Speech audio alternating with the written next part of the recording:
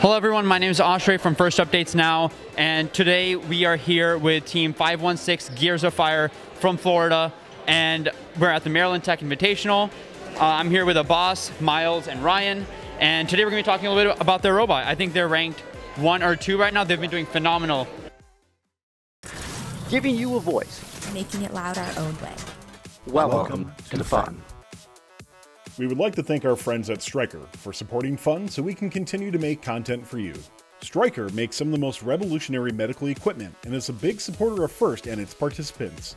If you are looking for an internship or career that supports you being in FIRST, check out careers.stryker.com to learn more. AFTC fans, are you ready for Freight Frenzy? Join us after kickoff live all weekend, September 18th and 19th, as we'll be out at Kettering University for the Bulldogs Robot in 30 Hours at youtube.com forward slash first updates now. You'll get detailed breakdowns of game elements, the field, and prototyping and testing of robot components and assemblies. Watch live, view short videos after, and ask questions for the Kettering team at youtube.com forward slash first updates now. Let's talk a little bit about your robots. So I see you guys have a beautiful purple and black color scheme, uh, and I love the intake and the simplicity of the design. Um, so why don't you walk us through the robot? How exactly yeah. does the ring move through it, and what does it do? Yeah, we can start with the intake, and then we can go into the drivetrain as well. So we have probably the most unique part of our robot is our string linkage drop take, and the way it works is like most teams when they run a linkage system, they use a metal beam, which can't like you know like metal won't go like taut or loose, right? But with string, when you pull it, when you push it up, it'll go loose, right? And so the advantage of this design is we have string that's always being tightened because we have two torsion torsion springs here and here that are constantly pulling this, the drop take down. And then we're constantly pulling the drop take down. And then we have the string that pulls the drop take up, right? So you can see that if I pull the drop take up like that, the string is getting taut and it's fighting the torsion spring to pull it up. And so the main advantage of a design like this is if a robot slams into us during a match, all that happens is this just folds up and it stays like that. And then it falls right back down as soon as it can. You know, it's very simple. There's no, uh, there's not a lot of software involved just moving these two servos, but it's very, very reliable. And yeah. I think my favorite part of that is that that doesn't even you know apply any force on the servo itself. Right. So it makes it really force resistant. Right. No. Yeah. Like the, these servos won't break by the drop take getting hit and hit and hit. So that's like the really good part about this is we've never had to replace these servos or anything like that. So yeah, we can show the ring going through the robot. Um, so we have our intake and it goes up like that.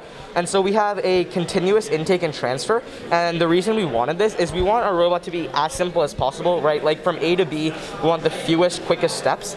And so we found that a continuous intake and transfer really removes the complexity of like a lift that goes up and down or a magazine that rotates and things like that. And it just uh, results in a more consistent robot. Like there's less things that'll jam or break or things like that. And so we have a two motor intake. We're running two 5.2 to 1 uh, goBILDA 5202 series motors.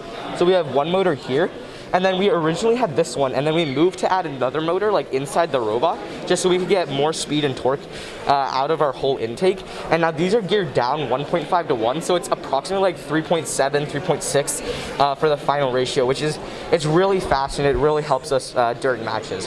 And another part of our intake that's pretty cool is you can see that it's a full width intake, right? Like we have 11 inches of effective intake space, which is very helpful because in matches when rings, we have two rings that are like right here and here, we can just drive up, get both, and then one will go straight up and the other will funnel while we're driving to shoot. And so that helps us a lot in saving time and you know spending less less time in like the war zone fighting all the other robots for rings. So that's the intake. Uh, and then when you get up to the hood, uh, when you get up to the hood, you can see we have a polycarbonate hood that we um, we heat like we heated it up using a heat gun, and then we bent it to the correct shape.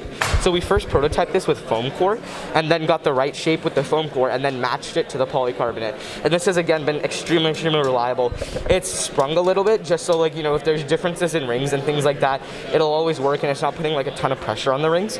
Um, and then another part of our intake that's pretty cool are our helical gears here. So we went with helical gears uh, for two reasons. Like the bigger teeth are better because they're like less likely to break, um, and then also like cars often use helical gears because they're like really efficient and quiet.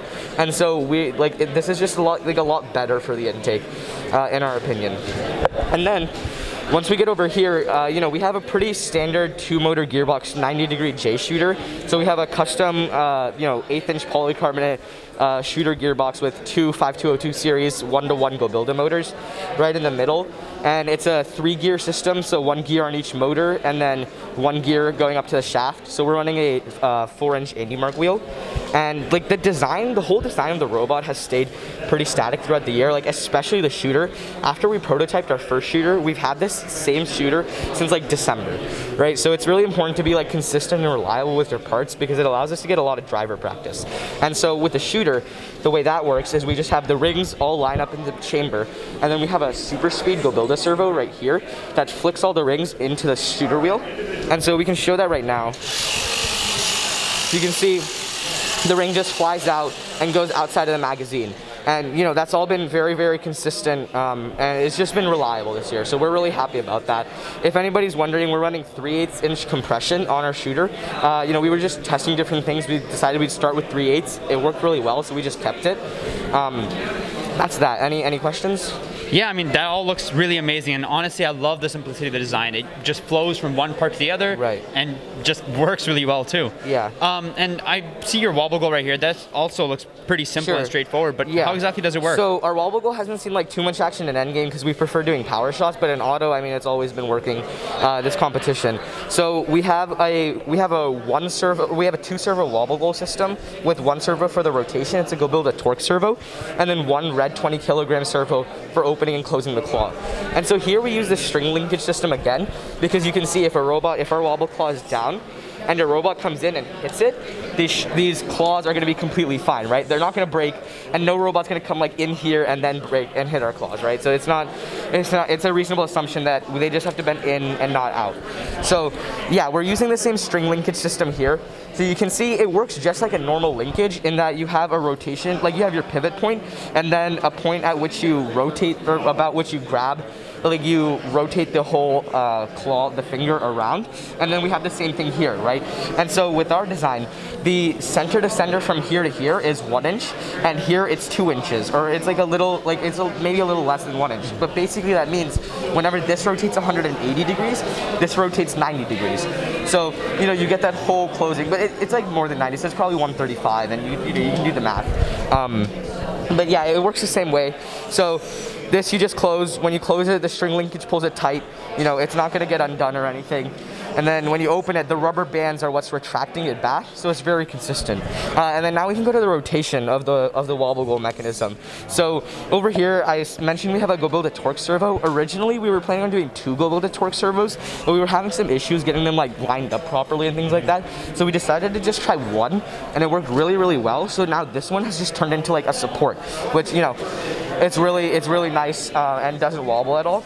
And another thing you can see is we have a really long polycarbonate arm, and the reason for this is this like shaking right here takes a lot of the load off the servo, you know, making sure it doesn't break, right? Because we have like five teams at our school, so getting funding for like buying a lot of spare Yeah. parts is like not something we want to spend our money on. So we have to really take precautions and make sure everything on our robot is protected, won't break, and you know things like that. Yeah. I think another thing we can talk about is our drivetrain if you want. I don't Yeah, know if yeah. we've talked about that yet. Um, so for our drivetrain, this has gotten undergone like some changes inside throughout the year, but like our drive plates, we've had the same drive plates since November. Uh, we've just painted them like the first they were purple, then we went white, and then we went black for MTI. Um, so the drive plates have stayed the same. It's eighth inch uh, 6061 T6 aluminum, and we we're running uh, Andy Mark NeveRest 20 orbitals for the drive motors, and there's four of them because we're using a Mecanum drive and we're running a 16 to 1 reduction. So we have a, I believe, a 26 tooth pulley on the wheel and a 22 tooth pulley on the, uh, or 26 tooth pulley on the motor and 22 tooth pulley on the wheel. And so we changed this around like, I think January we were just running one to one like two 24 tooth pulleys, and then we changed it to the 26 and the 22 just to get a little more speed out of the robot. Yeah. But I think like the biggest change and like the best change we made to the drivetrain was go from the Nexus mecanums to the goBILDA mecanums, like the new 96 millimeter goBILDA mecanums. Those have just been fantastic for us. Like they're really nice, they're really fast, light, they accelerate quickly. Just everything's really really good about them. Yeah. Um, and I see that yeah. in the mecanum wheels themselves, I think the cores are 3D printed, right? So there's like there's like the core in between the two plates. We didn't modify that. We've kept that core, but the hub that attaches the mecanum to the belt uh, is 3D printed. So we have one piece. It's a hub and a pulley, and that's what keeps like that's what allows our mecanum to rotate. And these are dead axled. So we have a quarter 20 stainless steel, uh, like three inch pans that just run through the wheel, and the and the bearings spin around them. Yeah. That's Yeah. uh, again a very very sleek and uh, well working design. Yeah. Now one thing I really love and admire about your team's structure and the way that you've built this robot is it's really made to sustain against defense, right? And I think that's why one of the reasons why you guys have been scoring so well. Uh, and I wanted to move on to software a little bit. Um, Miles, if you could talk to us a little bit about how exactly does your software keep up throughout the match um, to be able to score so high throughout the teleop period? Um, yeah, so in Teleop, um, I, I guess we decided to keep a lot of things simple. Like we implemented an auto aim system, but we actually don't use it because that's just another thing that can go wrong. And our drivers are very good at manually aiming, and not something that can't go wrong because like if the goal is off for some reason, they can correct for that. And if our camera is misdetecting or there's a robot in the way. Um, but the main things that we do use in our teleop are we have a sensor at the bottom of our intake that can track rings as they go in. Um, and so as soon as we see a ring, a, a third ring go in, we know to start the shooter, and that gives our drivers one less thing to worry about. But it's also not a problem if it misfires, which I don't think it really does. But if it did, it wouldn't really mess anything up. Um, and then we have a PID controller to maintain our flywheel velocity. Um, and so, yeah, those are our main teleop automations. And then as far as autonomous, um, we, we generate our paths at the beginning of every match using an A-star algorithm. So we recursively go through the field to find the best path. And the reason that we really wanted that system was because we thought that or it allows us to just add an obstacle. So if we know another robot is going to be in our way, we should be able to add it there. And it turned out that that was a lot harder to coordinate than we thought, and it was a lot easier to just like add a 10 second wait at the beginning of our auto. Um, but I thought that that was a pretty cool way that we could potentially stay out of our partner's way without making a major change to our auto. And again, that looks amazing. So, again, guys, thank you so much for this interview. I really had a great time talking to you and getting to know uh, your robot. Is there anything else you'd guys like to share? Uh, I mean, I'd like to say thank you to our friends and family and all the sponsors who have gotten us here. You know, we couldn't have done it without you. Yep. Um, we've just been having a really fantastic time at MTI this year, and I mean, it's just truly an amazing experience. Yep, well said, boss. All right, well, thank you guys again, and good luck for the rest of uh, elimination matches Yep. soon to come. All right. We would like to thank our friends at Stryker for supporting this video. Stryker is looking for current and future FIRST alumni to join their internship program, and FIRST mentors who are looking for a great career with a company who actually supports their FIRST journey. Go to careers.stryker.com to learn more. You can also directly support Fun by joining Fun Nation. Click the join button, and just for a few bucks a month, you'll unlock special perks and directly support us so we can keep making great content. Don't forget to like, subscribe, and ring the bell to stay up to date on our new videos.